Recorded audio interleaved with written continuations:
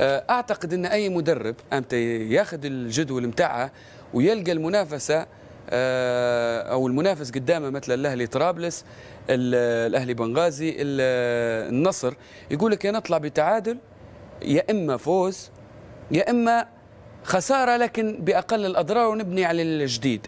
تتوقع أن المدينة من هذه الخسارة راح يبني ويسيستم نفسه على مشاركة أفريقية؟ والله كل شيء وارد يا مؤيد لأن نحن في بداية المرحلة السداسي وكل شيء فيها وارد. آه، صبري قشوط بعد آه، استلام الفريق المدينة. زي ما قلت لك راهو آه، قشوط كده عنده قناعات معينة وعنده آه، طريقة لعب معينة تختلف عن التلمساني اللي كاين كاين كاين قبل ماسك فريق المدينة. اليوم نشوف في المدينة اليوم قدم مباراة تكتيكية بحثه اعتمد فريق المدينة على على التكتل الدفاعي وعلى غلق المساحات. سواء في خط الدفاع مع آه، مهنديته في في الحالة الدفاعية والربط بين الدفاع والهجوم وخاصة في الكره الثانية والاعتماد على ماتيوس في الأطراف ويحيى زليتني وبكر ديارة في خط الهجوم.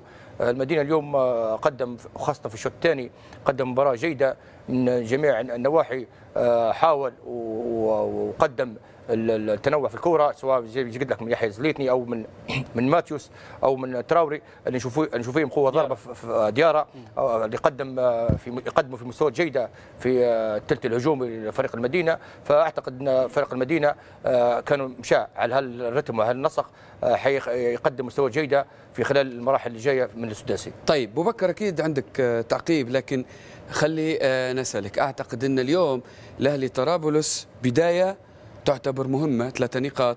أيضا عنده نقطة تفوق بين عديد ال- الفرق إن عنده طارق جراية اللي يعرف تفاصيل الدوري الليبي اليوم. هو ثاني سداسي.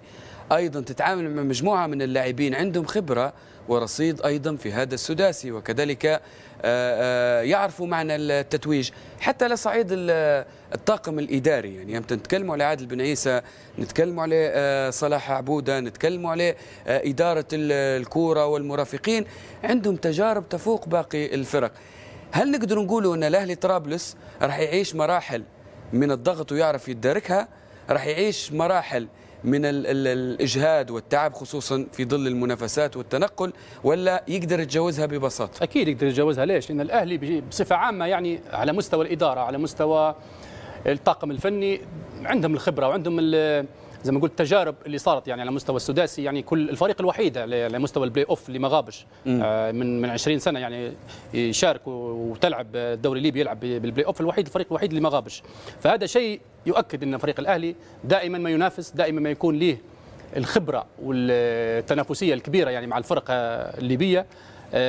على مستوى الإدارة دائما وفرت كل شيء. يعني ما زي ما نقولوا إحنا الجزئيات البسيطة اللي ممكن تأثر في الفريق دائما يحاولوا آه، يبعد عليها ال- الإدارة وبوجود آه، السيد آه، عادل بن عيسى بوجود آه، صلاح عبودة بوجود مبروك الشمام وعده عدة أسماء يعني آه، تتداول يعني في في فريق الأهلي ولها ولها دور كبير يعني في في إراحة الفريق. ونفس الشيء طارق جراية بوجوده يعني على الموسم الثاني عرف آه، شنو هي السلبيات اللي في فريق الأهلي والامام امام الخصوم. وهذا اللي ساعد فريق الأهلي انه هو يكون كبدايه بداية جيدة يعني. طيب